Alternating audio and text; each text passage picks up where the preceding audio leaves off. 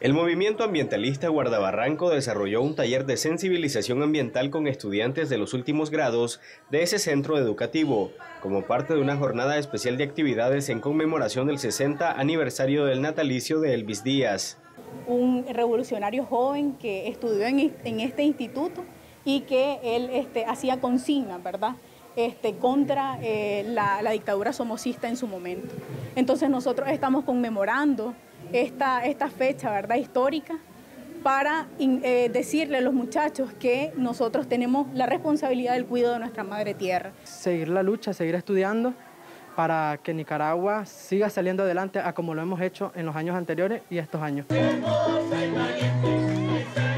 Como parte de la jornada también se desarrolló un acto central en el cual el historiador Clemente Guido compartió sobre la vida de ese mártir de la revolución sandinista y entregó ejemplares de una nueva edición que sintetiza el ejemplo y legado del dirigente estudiantil para que lo conozcan las nuevas generaciones. Es decir, a los héroes y mártires no solo hay que recordarlos en la fecha en que murieron, que nacieron, sino estudiar sus vidas, saber qué fue lo que hicieron, por qué son importantes, por qué los recordamos.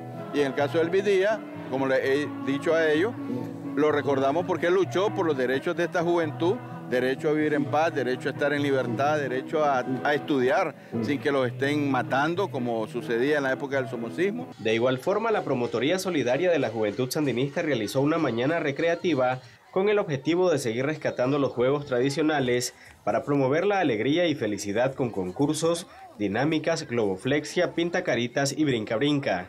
Hoy queremos reafirmar al legado de Elvis Díaz que seguimos respaldando las buenas voluntades.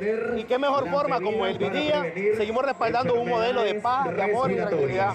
Hoy queremos decir, también hemos recibido a la mamá de día, doña Isabel, que nos traslada esa esperanza, pero sobre todo la confianza de que le da un buen gobierno. Con imágenes de Agenor Obando les informó Jimmy Altamirano.